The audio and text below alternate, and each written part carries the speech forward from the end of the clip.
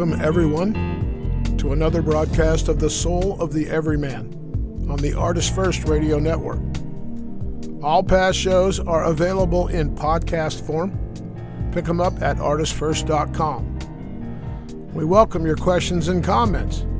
Hit us up by email to dj at artistfirst.com. Here they are, Michael and Margaret Lyons. Thank you very much, C-Man, and that was certainly not painful at all. I hope not. that, was, that was awesome introduction. Hey, but tonight's show, tonight, tonight, tonight, we are going to go back to one of our favorite topics. Oh dear. Can you guys guess what it might be?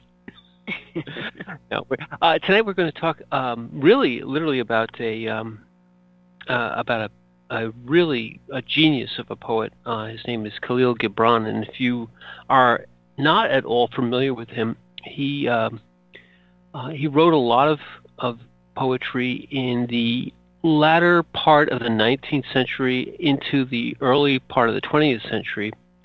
He died rather young, actually, and um, he's a, uh, born in Lebanon, so he's an international um, poet.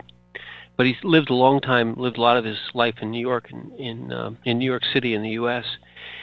And um, we did another show on one of his poems, uh, you know, mm-hmm. and uh, it was it was a beautiful, beautiful show. So we thought tonight was the night we would we would go back to our perennial favorite topic, and and mix in Mr. Gibran. So we're going to talk tonight about pain. but but but in this sense, um, this is really, in my opinion, anyway. He, the, uh, in this particular poem, which is entitled "On Pain," he's really talking about a couple of different things, and, and we'll read the poem in a moment. Margaret's going to read the poem in a moment, and then we'll kind of, of of talk about our impressions of it. But I think he's talking more about growth necessarily than he is about um, just, let's say, a physical uh, pain. Uh, but anyway, did you want to read the poem? Uh, okay, I can do that. Uh, on pain. Kahlil Gibran. Your pain is the breaking of the shell that encloses your understanding, even as the stone of the fruit must break, that its heart may stand in the sun. So must you know pain. And could you keep your heart in wonder at the daily miracles of your life your pain would not seem less wondrous than your joy. And you would accept the seasons of your heart, even as you have always accepted the seasons that pass over your fields. And you would watch with serenity through the winters of your grief Much of your pain is self chosen. It is the bitter potion by which the physician within you heals your sick self. Therefore, trust the physician and drink his remedy in silence and tranquility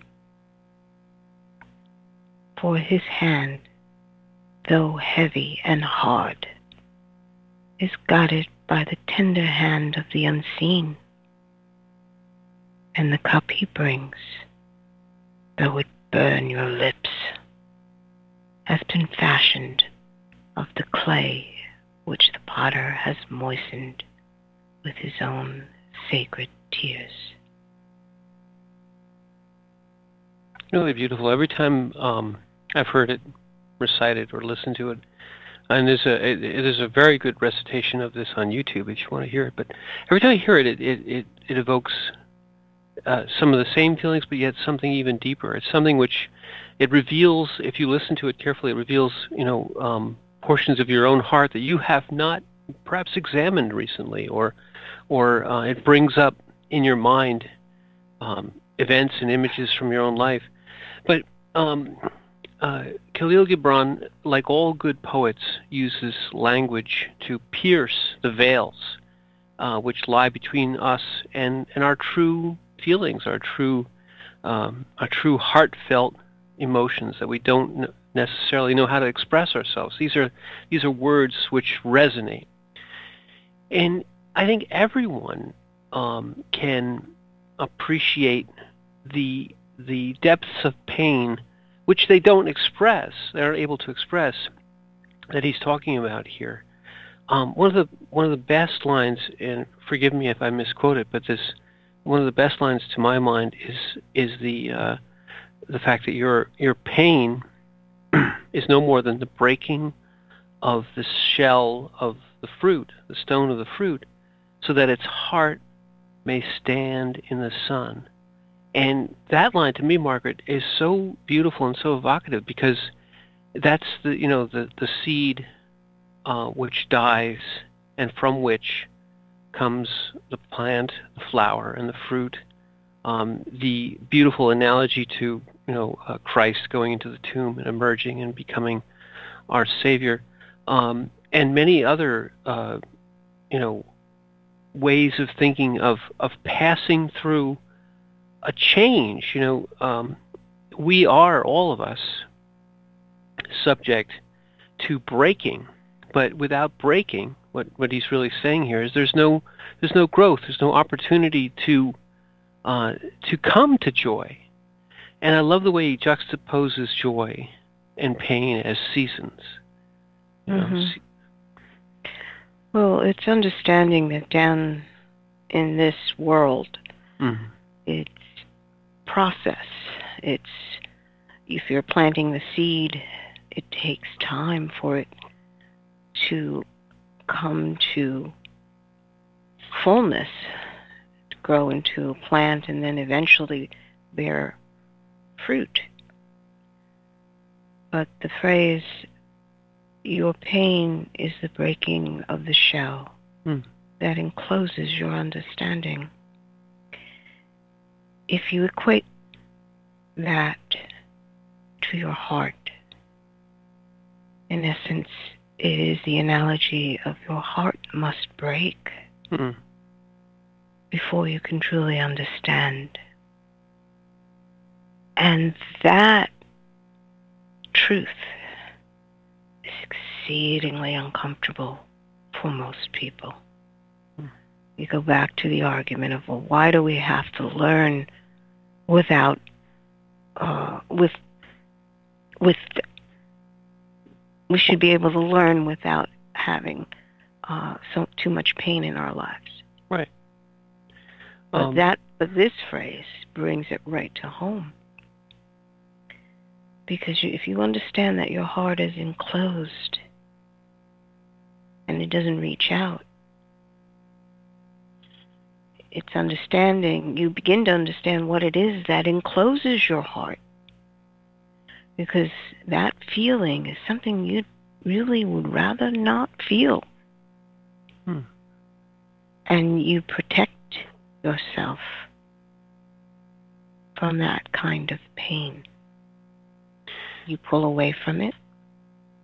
You reason it out. Hmm so that you have handles on what you think is painful. Anything you can do so that your heart may not feel this. And the only way you can feel this is if your heart is broken. And I think it's it's unavoidable, yet we struggle against it. Um, and even the poet here, or uh, in the voice of the poem, he, he says in the next line, you know, and I love this, and could you keep your heart in wonder at the daily miracles of your life? Which is basically if you could be in a state of grace just for your existence, you know, whatever the whatever the current condition, your life is the precious thing. The existence is the precious thing. If you, but if you could keep your heart there, you wouldn't have this fear you know, this fear of pain or of breaking, because you'd see it as he says, as a season. Yes, now I, it is. I'm being broken. I will learn. I will heal, and I will grow. But we don't see it that way. We see it as something which is abnormal. Mm-hmm. It is the acceptance of the cycles that exist down here. You cannot live on this earth without experiencing cycles. And to accept the fact that this is the flow of life down here. You know, why do we why do we resist that? Indeed, why do we? Right. Well, it, it it goes back to the very first line in the poem. You don't want to feel the change. You just get comfortable in the way things have been running and the way you're predicting it to run and basically saying, "Well, I don't have to feel that. I'll I can figure that out. As long as I can figure it out, I'll learn something."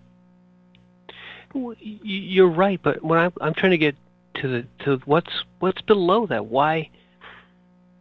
Uh, we've talked about this on the other shows of the Soul of the Everyman. You know, it's this idea that um, pain or change or anything bad is for other people. Oh, other people go through that. You know, it's not for me. And, and the, the, the sentiment, the, the the thing that I think is behind it is I'm I'm, I'm already I'm already I'm already I'm I'm already just fine. I'm just fine. I'm already, I'm going to say the word, the P word. I'm already perfect, you see. so I don't need any more pain. I've got it. I've got it down. After I've analyzed myself and I've been through so many things and I've understood all the experiences that I've had and I've I've categorized it and I've turned it around. I I know what what this is and I know who I am so I know me completely so I'm perfect.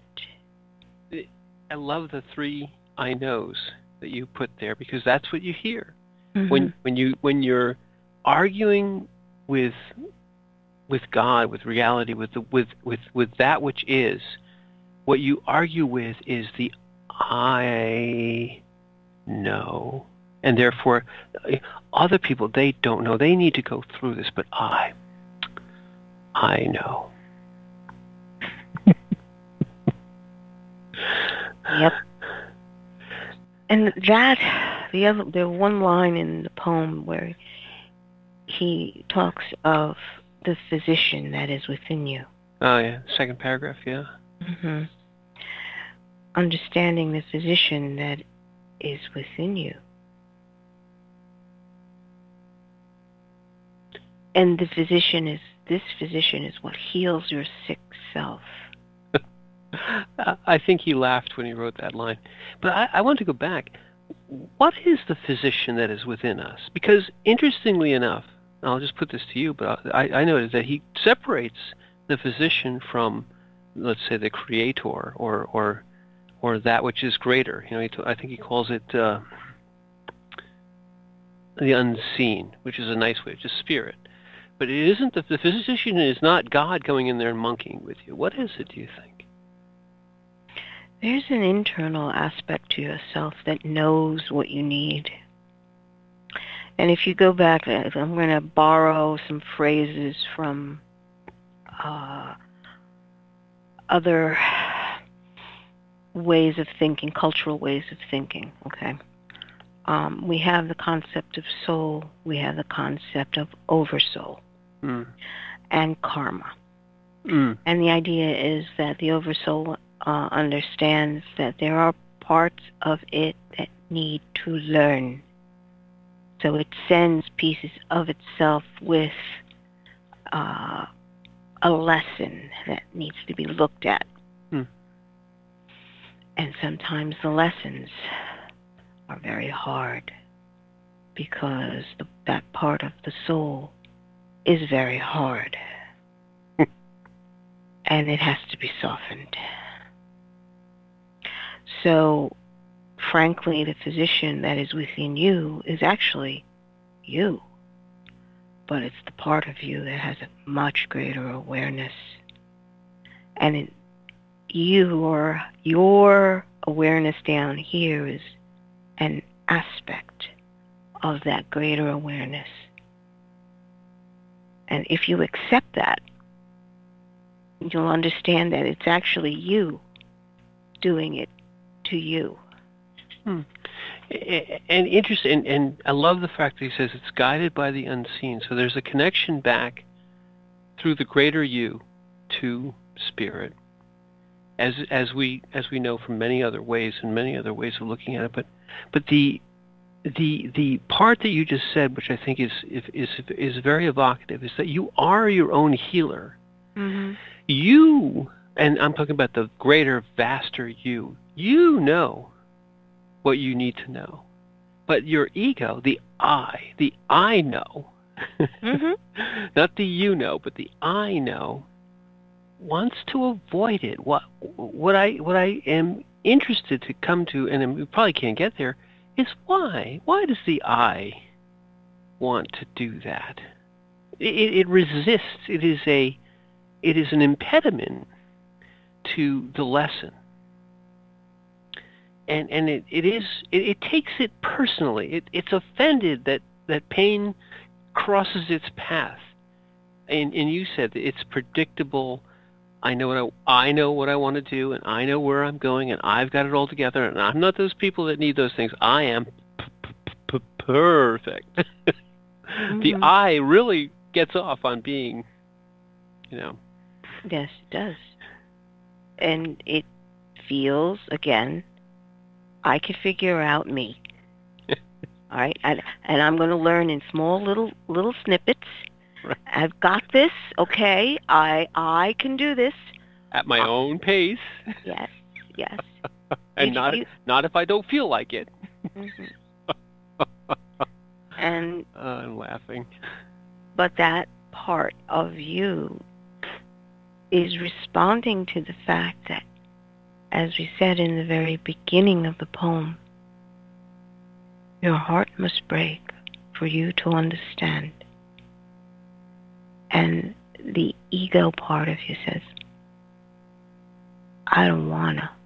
I don't wanna. Yeah, and I, I agree with you. The first line is so important because here he really says, this is what he's saying, is your pain is a consequence of breaking. So the breaking happens. The pain is your indication that it's happening. And before that, your understand or your ability to understand, your ability to, to learn what you needed to learn was enclosed and, and, and, and I would say blocked.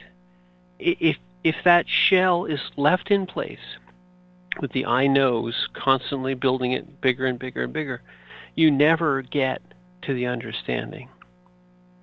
You don't get to the kernel of who you are. Hmm.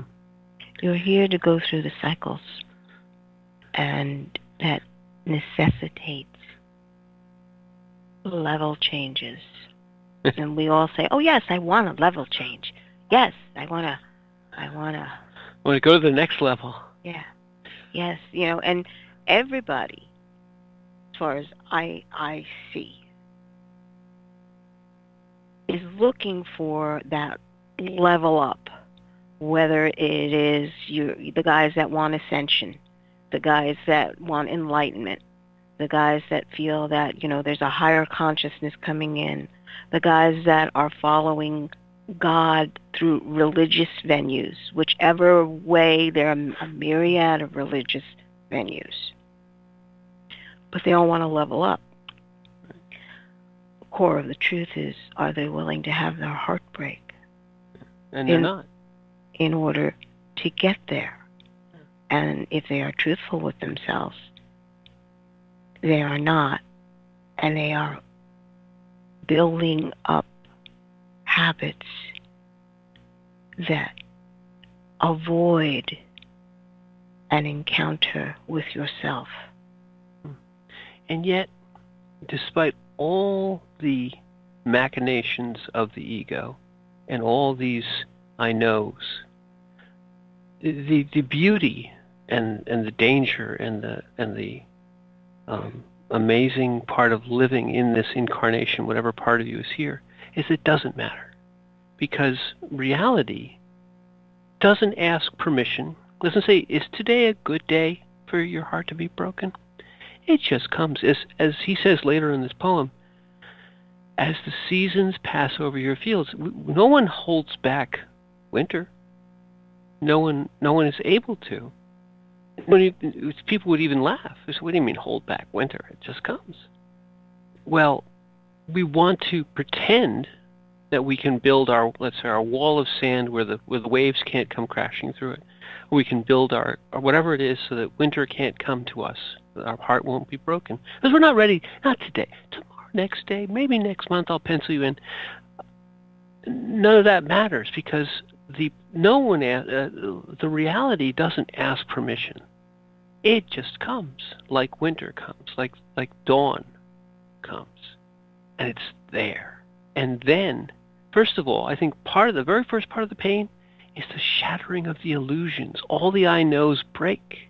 Mm. And if you've built up a, more and more I knows you broke, the harder and more painful it is. All your all your ego invested I knows and how wonderful I am and my perfection and my my my my face that I face I put out to everyone it all cracks and that's a big part of the pain is is the breaking of illusion.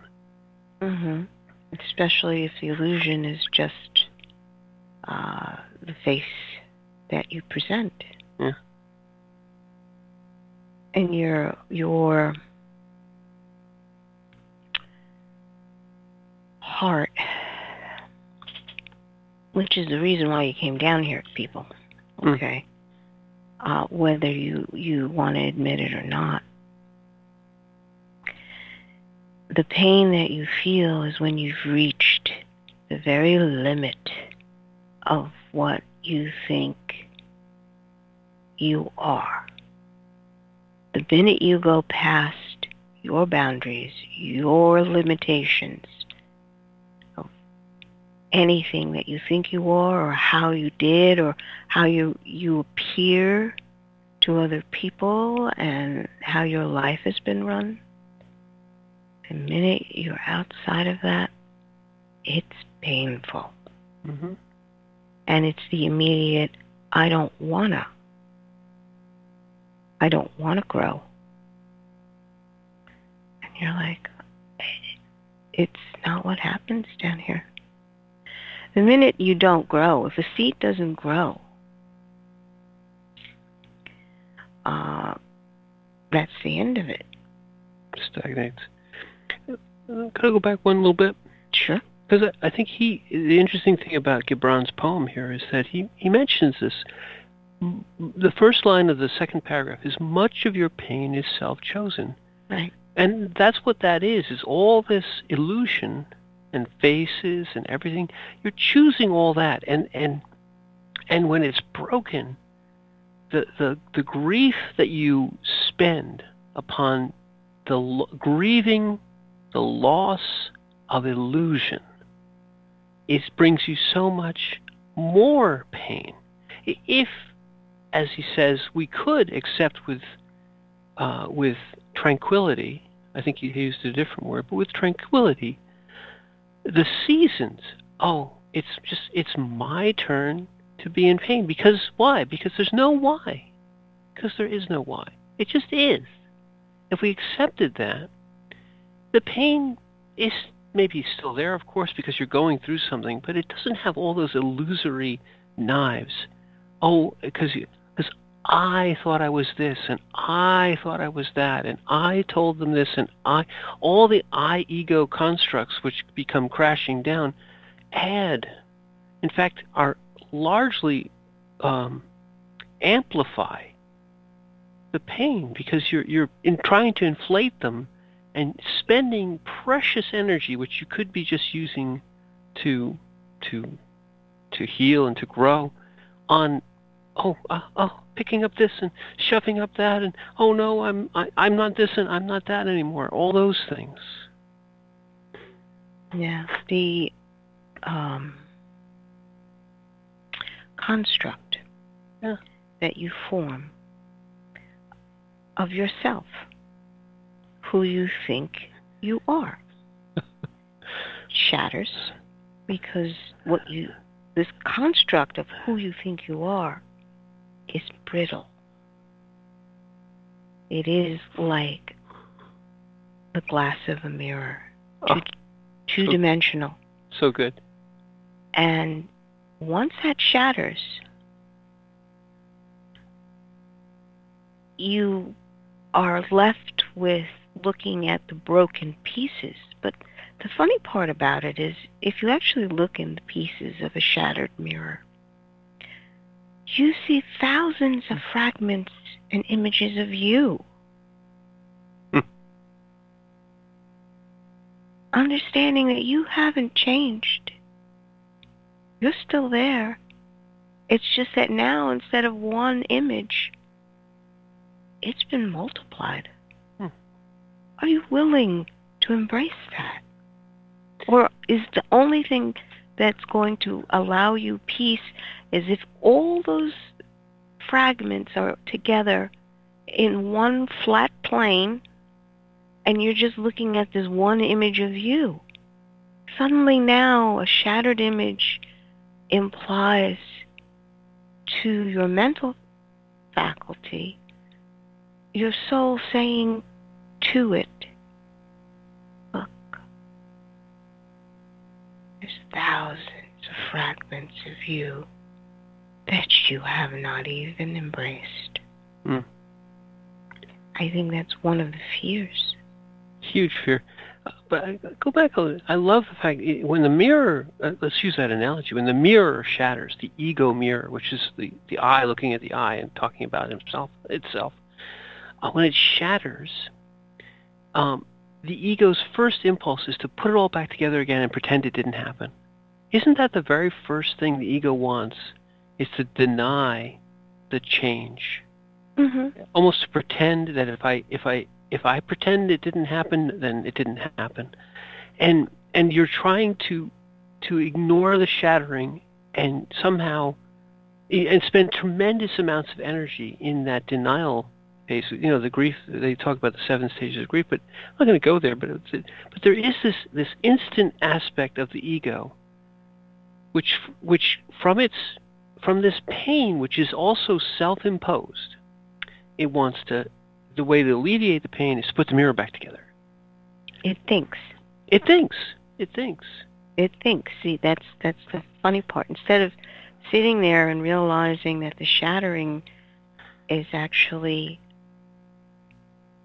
a way to open up yourself, it wants to put it all back the way it was. I think the ego sees that as its own death because it doesn't recognize it. Um, And maybe that's the key. Yeah. That's the key. If the ego can embrace the fact that its image wasn't destroyed, it was actually multiplied. Hmm. I think that would change many things. That's a good way of thinking about it. Um, you know what? Let's let's take a moment, take a breath. We've been doing some pretty heavy lifting here. Everyone, just chill out for a second. Don't worry about the change. We're going to go back to the studio, have a little couple commercials, and we'll come back on the other side and talk about pain.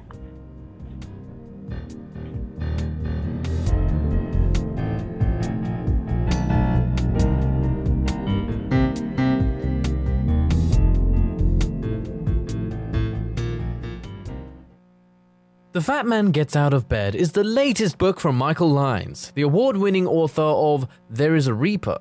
Featuring 13 original stories, this wide ranging collection has everything forbidden love, gods versus demigods, weird invading aliens, sexy seductive artificial intelligence, and unusual passion between the living and the dead. All set amidst fantastic worlds of pain and loss and boundless joy. From the sublime to the macabre to the bittersweet, the fat man gets out of bed will leave you breathless with laughter, brimming with tears, trembling with suspense.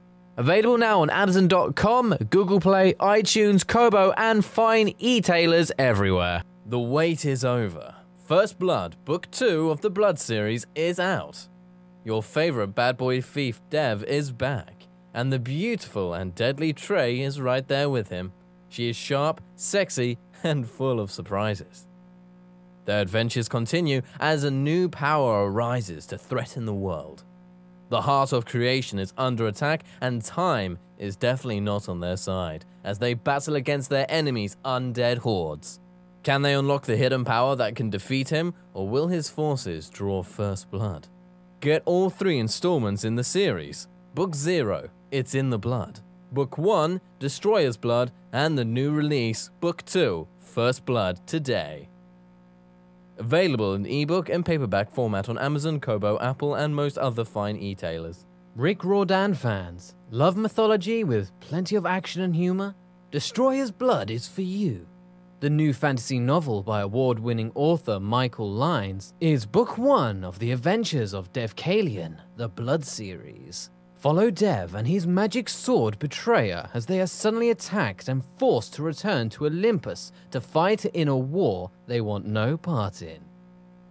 The world of men and gods is about to be destroyed by Zeus's ancient foe, and only Dev and Trey can stop him.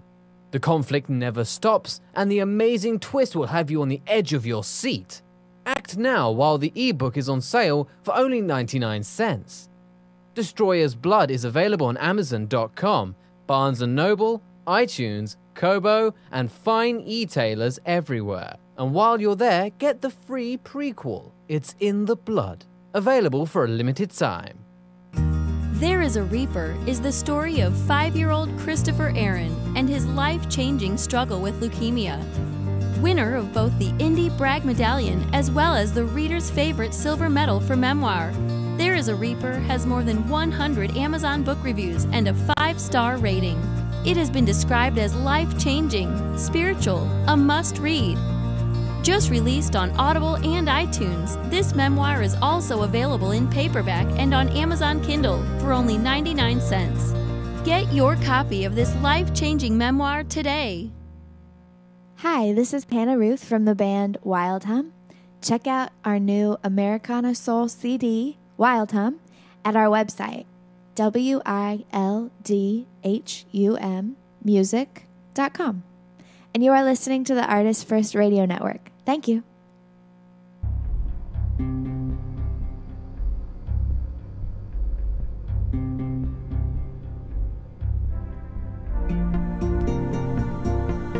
Thanks for joining us on the Soul of the Everyman on the Artist First Radio Network. Back to your hosts, Michael and Margaret Lyons. And we return to pain. oh, oh dear. Oh dear. Well, uh, tonight we are talking about um, about pain, but but interestingly enough, what we're really uh, using as a vehicle is um, this wonderful poem by Kahlil Gibran, and, and I would recommend that you you listen to it. But um, you know, I, I think the last point that we were talking about, which was the the fact that much of our pain, when we're talking about pain that comes from life and the growth stages of life, much of our pain is here, here's a good way of thinking about it. We build up these wonderful ego shells with the with the um, illusion that they are invulnerable and that they will only we, that we can control when we want to do something and when we're going to learn and when we're not. And tonight tonight is not a good night because it's bowling night and whatever.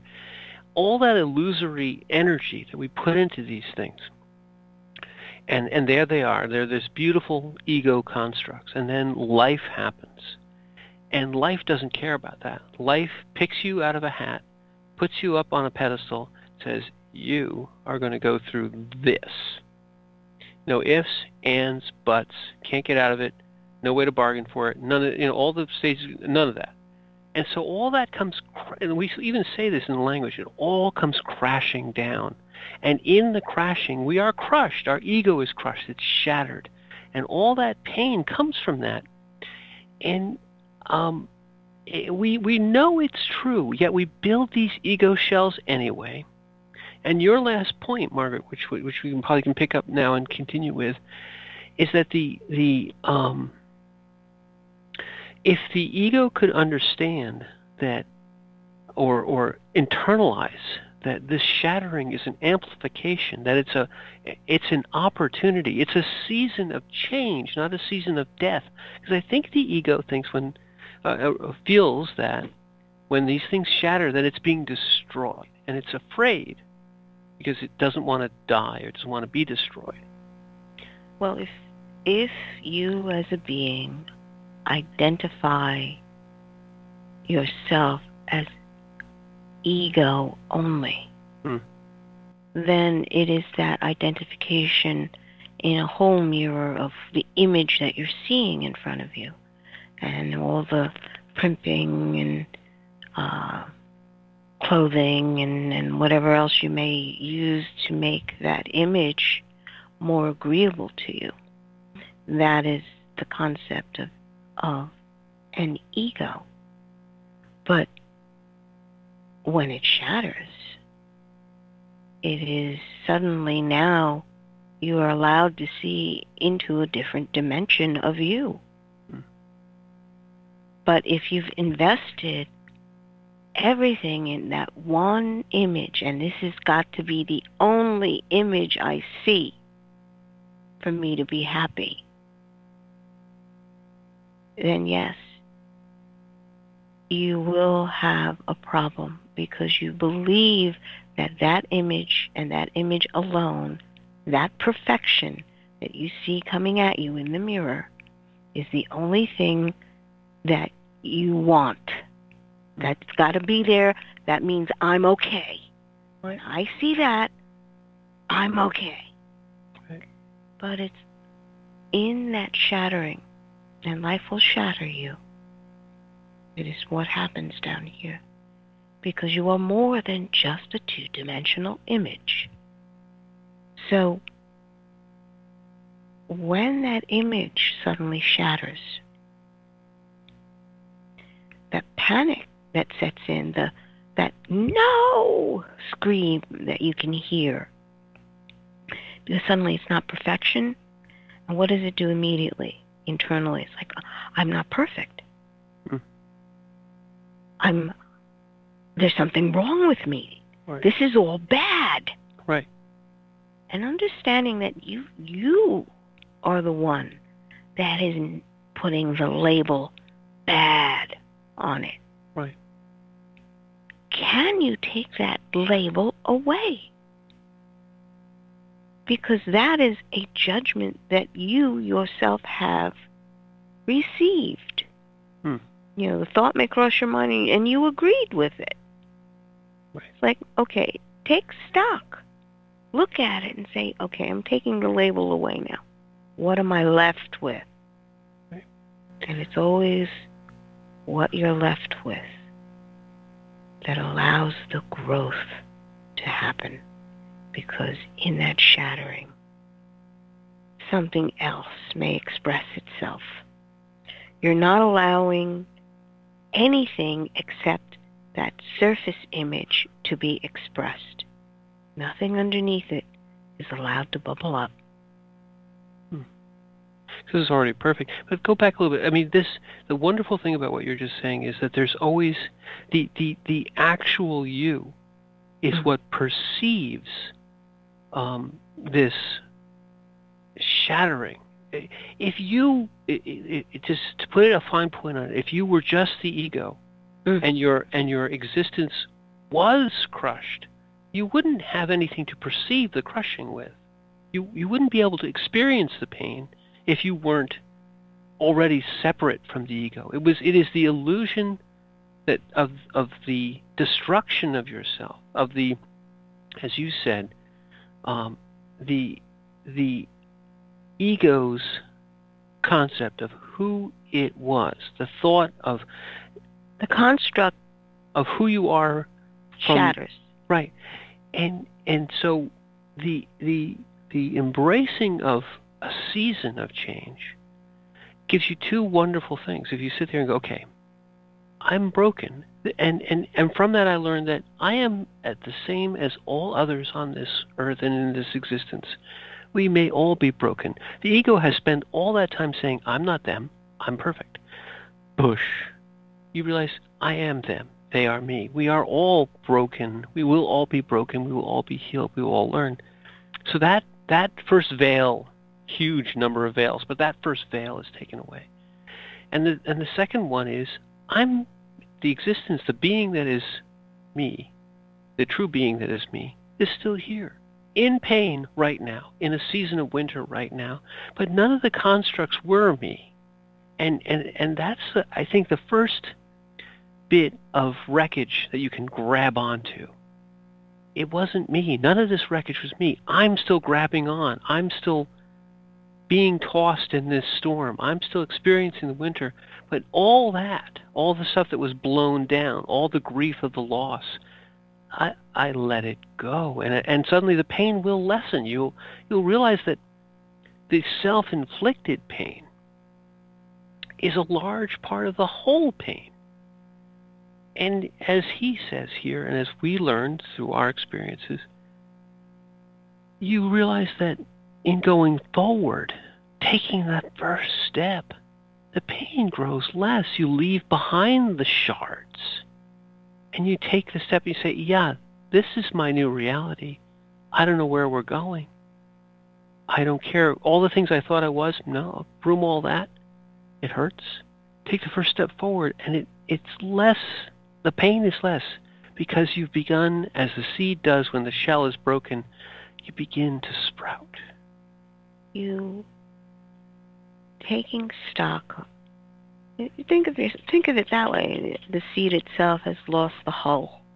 Hmm. It's uh, fallen away, and it's very tender on, in the depths of the earth, hmm. in that darkness. And the first thing it does is it grows. It grows roots, and then it grows up. As the process is, it's below and above simultaneously mm. until it breaks through to the sun and receives more energy to continue that growth. Mm. And meanwhile, the hull that has fallen away is broken down so that the roots themselves can take nourishment from what it contains. Exactly. And not waste that energy. Mm-hmm. It's accepting the fact that your form will change. That is the way of things down here. You cannot look at one thing and say, this will stand forever. Like there is no forever that way down here. Right. But to want to believe that it is, I believe, it's almost like a self-soothing mechanism, just like a baby sucks its thumb. Yes. I'm going to, I'm going to suck on this. No, no, I'm fine. Right. My hair's not going to fall out. I'm not going to get fat. I'm not going to get any wrinkles. Wait a minute. I'm fat and wrinkly. My hair fell out. Keep sucking. Damn it. But, but so that's, I mean, that's, you know, those things, those cosmetic things, if people don't have gigantic uh, life-changing events, which happens to many, but even just that is enough that you see the illusory um, trying to maintain the illusion of, of a unchanging youth and how that uh, catches up with you. And that can become, if you've spent 40 years trying to maintain that mirror, and all of a sudden everything sags and, and falls out and, and stops working and kind of gets creaky. And, and that can be an, a life-changing moment. It can be the first one. It's like, I, oh, I am, old. you know, the, what is it, the midlife crisis? Like, I'm not whatever number of years old. My life is over. You know, it's this great drama. But, but that illusion was holding you back? It's understanding that when you are shattered, mm. just like with the mirror, when you are shattered and in great pain from that shattering, the only way to go is through. Yeah. When it comes to pain, you just you must take the step forward, embrace that pain, the change has happened. And you must go through the breaks into something completely different, completely new. To realize that the newness is a step away and it's not anything that I thought of Mm. before, nor can you go back to it. There are no backsies. Okay. Isn't that a wonderful? Let's say there, when you grow, you don't fit back into the shell. Um, there's a, been a number of we've we've not watched uh, a number of people who gave talks on this type of subject. When you leave your uh, your shell, your your initial small space, um, and you grow, you you look back and you go, uh, I can't fit back into that. Even if I wanted to, I could never go back. There's no backsies. And just because you grow, uh, you, you, you went from a seed and you grew and you became something new, there's also no guarantee that there you are, you're done again, you're perfection yet again. Here you are, you don't have to do it anymore. It's a, it, the, the true wisdom comes in saying that I will never, or, or uh, maybe you learn this lesson, that you no longer build the ego constructs. You, you remain open. And you'll notice, as he says in the, in the poem, that if we keep your heart in wonder, if you keep your heart in a place where the seasons and changes of life are, are no more, it's no more um, strange to become joy, to get joyful, spring and summer, to get uh, uh, pain, winter or fall. These seasons just come and they go, and, and, and you, the being which is you, has acquired the wisdom to say, where I am right now is not where I want where I want to be tomorrow. I may be, but there's no more want to be. There's no more ego put into it. I am this and I'll never change and I don't want to change and keep building up the walls. And you won't have these you won't you, you won't be able to be shattered. You'll be able to be changed, but you're, you've softened that shell to where it's almost not there. You, you you accept those seasons coming in. That's that's really the goal. Is is don't don't build the walls in the first place, and you won't have the tremendous shattering that you that you get when you when no matter what it comes. You know. Well, it is growth that we are experiencing down here. Hmm. And to understand that growth means change. Yeah. And people say, oh, yes, I'll accept change, but they, they want the good change. Right. That, you know, there's a good change and then there's a bad change. Right. And you're sitting there going, it's just change. Right. Can you stop judging?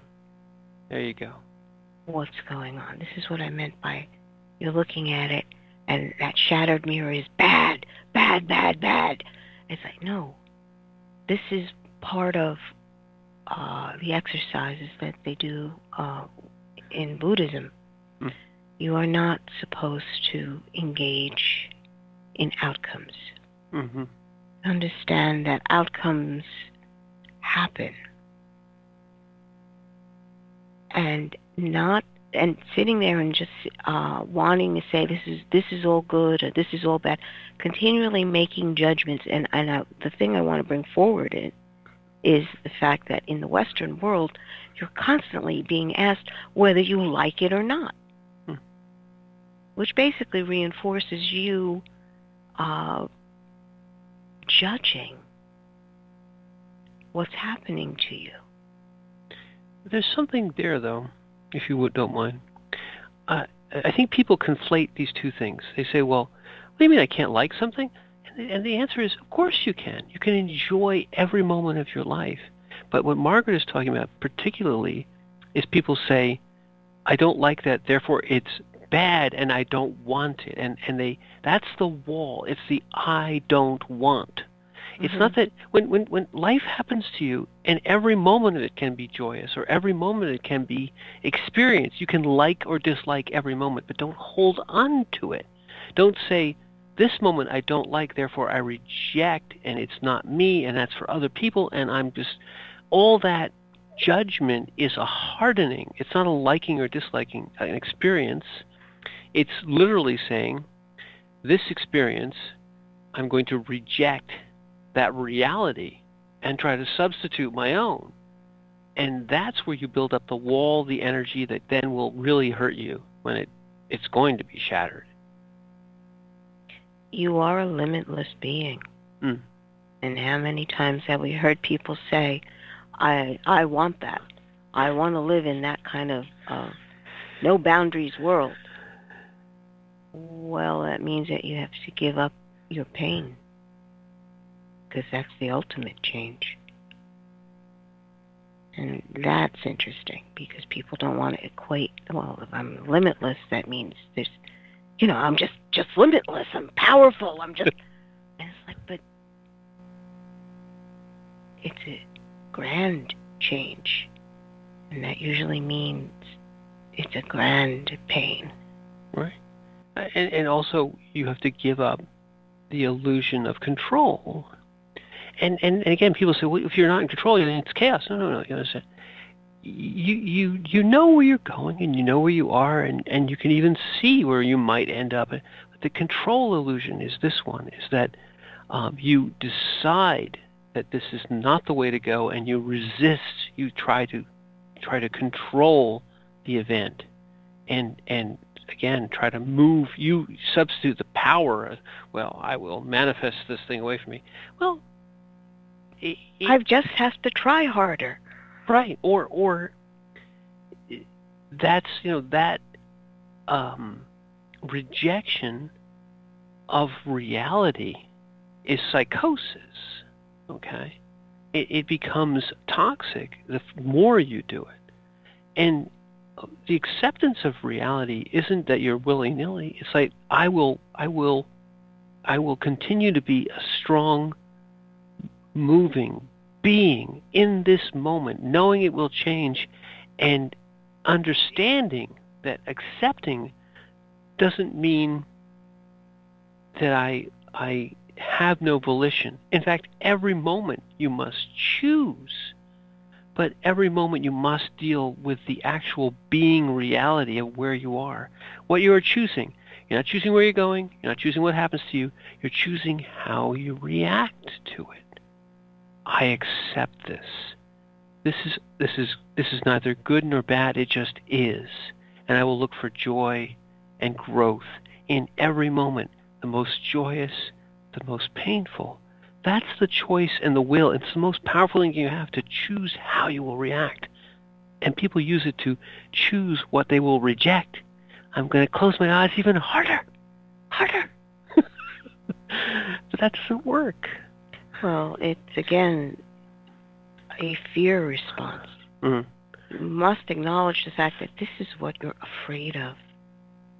To know what it is that you're afraid of, because frankly, there are things out in this world that will manipulate your fears in order to make you do what they want you to do. Well, and isn't what you just said so so beautiful? The the the um, the choice of you know accepting doesn't mean not choosing. Accepting means choosing to accept um, you the power you have to reject and accept things, and and and you know just be in the center of all of it, is perverted when you say I judge this to be bad and therefore it's not me and it's only for other people. It's the same power, but in one way you're, you're going to set yourself to, up to be hurt. Mhm. Well, there at that point you are always going to be hurt. Yeah. Because you've already formed the what is good and what is bad. You know, then people want to force you to take sides. That's what I find fascinating. Even better, yes. You know, it's like you want me to take sides? Why? And the only purpose is for conflict. Did, did, did anyone ever think of that? The minute you're forcing aside, you are forcing conflict not that you are not supposed to uh, have an opinion. Everyone it has an opinion, okay? You just have to accept that, people. Everybody has an opinion, a hmm. unique one, usually.